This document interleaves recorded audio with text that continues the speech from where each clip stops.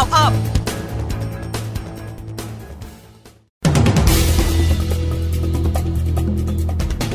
7นาฬิกา18 นาทีบรรยากาศที่ลานคนเมืองเช้าวันนี้เนื่องในวันวิสาขาบูชา ประชาชนร่วมทำบุญตักบาตรจำนวนมากร้อมมีพิธีแสดงตนเป็นพุทธมามกะ7นาฬิกา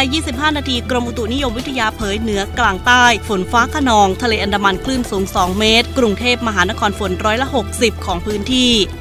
7นาฬิกา39 นาที หัวหน้าพักชาติไทยพัฒนาเมินกระแสพักใหม่ ชี้ต่างคนต่างทำงานให้ความสำคัญเท่ากัน ไม่ห่วงอดีตสสโดนดูดยันยังมีคนรุ่นใหม่เข้าร่วมพัก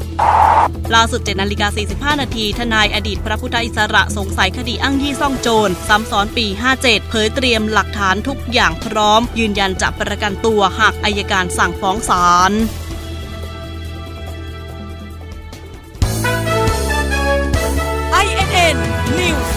啊啊！